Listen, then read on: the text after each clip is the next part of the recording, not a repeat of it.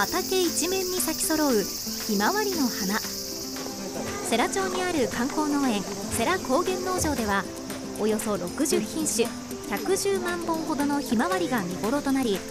夏を満喫しようと多くの観光客が訪れています。一株から次々と100輪ほどの花が咲くサンフィニティです。こちらは花びらが白い2品種のひまわり。高さが20センチほどの可愛らしいひまわりの横には3メートルを超える背の高いひまわりが。訪れた人は思い思いにお気に入りのひまわりを探しながら高原の夏を楽しんでいました。初めてひまわり畑来たんですけれどなんか思った以上に広くてすごいなと思いました一面に咲くひまわりがもうすごい綺麗で最高です。最高です。